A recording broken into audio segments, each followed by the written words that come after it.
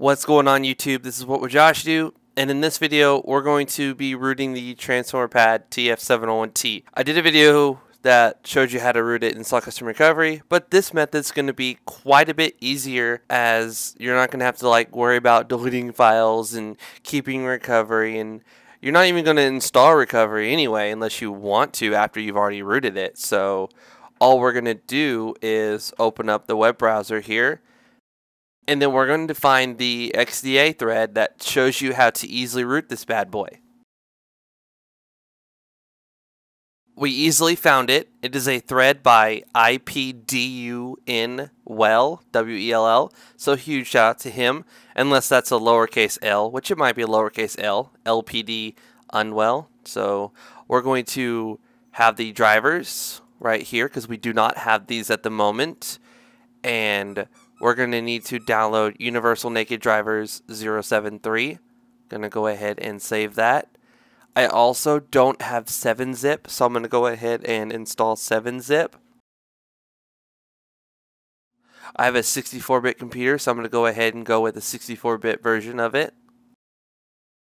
Save file, go over here, and then click on 7-zip, and then next I accept, next, next, install. Once it installs, we're going to hit finish. And then I'm going to do Windows Q to bring up this little screen right here. And then type in file.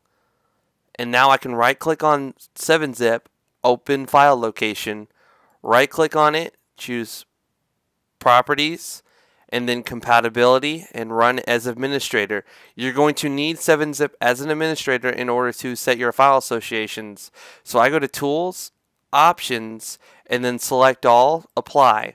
If you did not have administrator on 7-zip, then it would do that. If you have UAC enabled, it'll ask you to allow it or continue it. I also uncheck Cascade, and I do this. I uncheck these that I'm unchecking right now and that's just how I, you know, have my 7-zip set up. Okay, so now I can go back to my downloads folder, and in here you'll see the Universal Naked Drivers. Now, if you click on it, it's going to ask you, do you want to open it with? I choose 7-zip. Now, I can right-click on it, choose Extract to Universal Naked Driver. Well, let's see if it's a folder inside a folder. It is not, so I'm going to go ahead and right-click and choose Extract to Universal Driver. Alright. And then I'm going to go to, I'm going to plug the tablet into my computer now. And I'm going to go ahead and disconnect all internet. Alright, I'm going to go ahead and plug my tablet in. I just don't want Windows trying to find these drivers and I don't want Windows to install them for me. So now I need to go to advanced startup by hitting control or the Windows logo and then Q, and I need to do advanced. And here I need to go to change advanced startup options, and then and then advanced startup and hit restart now. And then I need to go to troubleshoot, advanced options, startup settings, and then you'll see those lists right there. So hit restart. When you have a list or a screen pop up, you'll just hit number seven. Mine's not showing up, so I'm just going to go ahead and hit it anyway because of the way I'm using my capture setup. It's just probably not showing me the screen. You're like you're seeing a black screen right now. Okay, for some reason it failed me. I'm going to go ahead and try that again. I'm not sure why it didn't take me into advanced startup, so we'll go ahead and try that one more time. Okay, yeah, you're not seeing the screen right now. I'm going to go ahead and hit 7, and my device is going to start up. So whenever you do the restart now, it, you'll be presented with a blue screen, and you'll just basically hit the number 7 on your keyboard or F7, and then it'll take you to the advanced stuff. So for some reason, I wasn't able to capture that screen, so we're going to go ahead and go to our computer here, right-click on this, choose Manage. If you get a little prompt, just go ahead and accept it. Go to Device Manager, I'm not sure why my tablet's not showing up. I'm going to unplug my tablet and then plug it back in. Okay, I might need to enable USB debugging. So settings on the tablet and then go all the way down to About. Correct, I did not have developer options enabled. So go to About, and then Software Information, and then keep tapping on the build number. It says you are now a developer. A new option appears on the left, Developer Options. I'm going to go ahead and hit USB debugging. It prompts you with a little allow screen. Just hit OK. And then, see, now it says Asus Android Composite Android Interface. So I'm sorry I had my camera off at the moment. So I'm going to right click on this and choose Update Device Thing. Browse my computer for software. Let me pick from a list. And then Show All Devices next. And then Have Disk. Hit Browse. Go to your uh, downloads. Let's see if this has a way of doing it really. There we go. Downloads. And then Universal Naked Driver. And then Win USB. Okay. Okay. We're going to go ahead and go with the ASUS Transformer ADB interface. Hit next. Yes. Uh, yes, install this driver anyway. And yay, now we have this.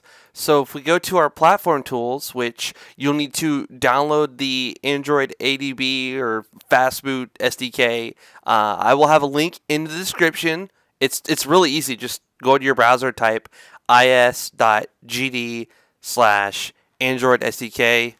The A in Android is capitalized and SDK is capitalized. I'll have a link on the screen in the description, but you'll just go to your platform tools, use Shift on your keyboard, right click, and choose Open Command Window here. We're going to choose ADB Devices, and hopefully ADB will start up. And on my tablet, it's saying Allow USB debugging. I'm going to hit Always Allow from this computer, and then OK. And now it says Unauthorized. If I do it one more time since I authorized it, it'll say Device, so it got attached. It's fine. All right, so uh, we have drivers working just fine we need to go back to the uh, I can you can plug your internet back in. Again you just don't want your computer trying to download the drivers um, because it will not choose the best ones. So we're gonna go back to that thread that we had up earlier and then we're going to go ahead and click on the root.zip save file.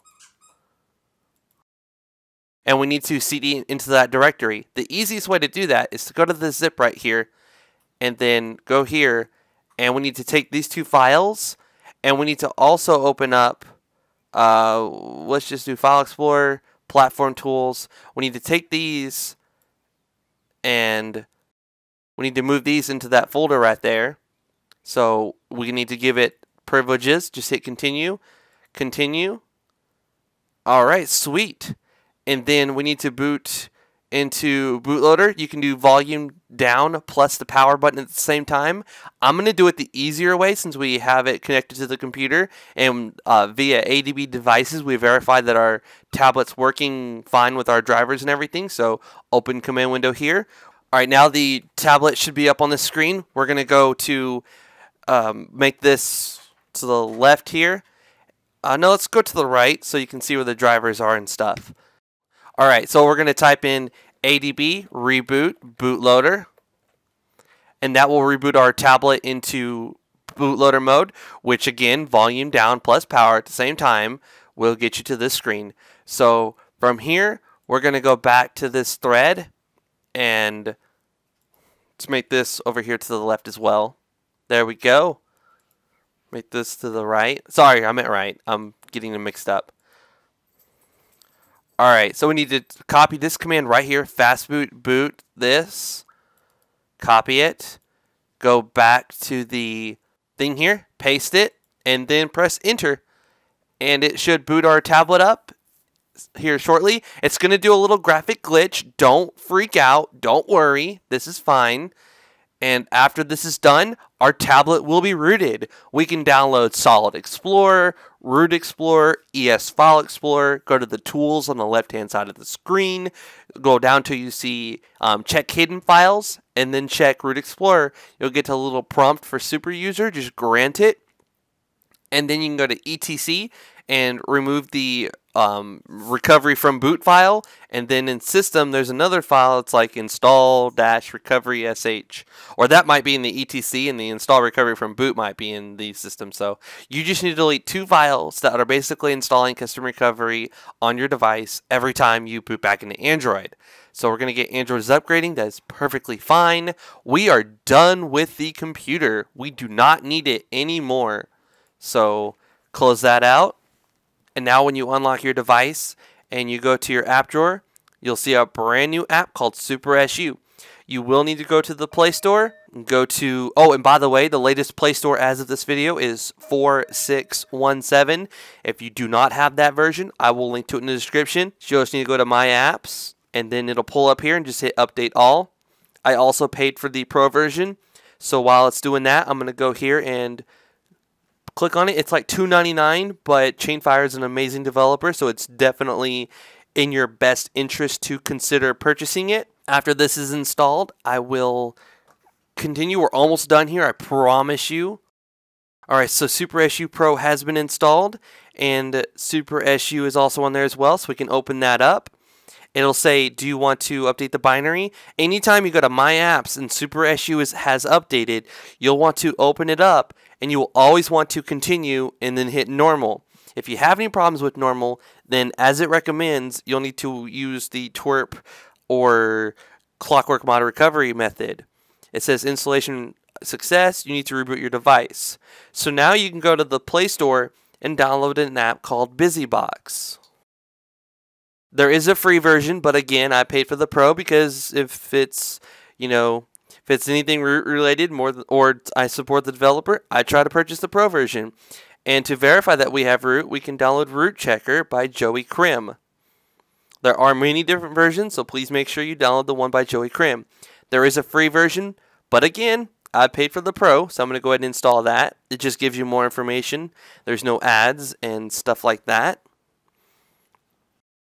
So open that up, agree, okay, and then verify root.